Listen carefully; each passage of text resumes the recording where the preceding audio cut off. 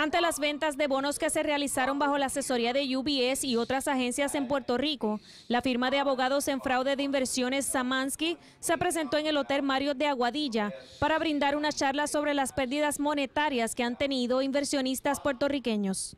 I'm here from New York with Marie Elsie from uh, Puerto Rico.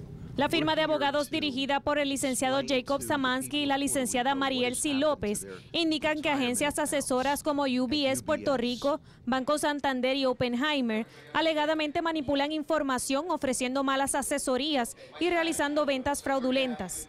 Los abogados indicaron que la mayoría de sus clientes son personas retiradas que fueron engañados. El proceso es que se prepara una querella donde se ponen los hechos básicos que le corresponden a cada inversionista una vez se radica la querella, la otra parte contesta la querella con sus alegaciones.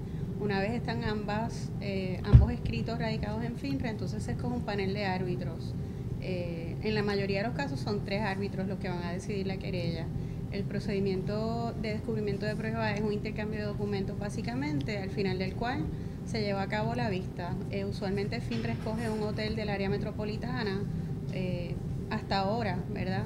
Eh, donde vienen los árbitros, van las partes, presentan sus casos y al cabo de tres o cuatro días terminan las vistas y al cabo de dos o tres semanas entonces se emite un laudo. La firma Samansky seguirá ofreciendo charlas alrededor de la isla.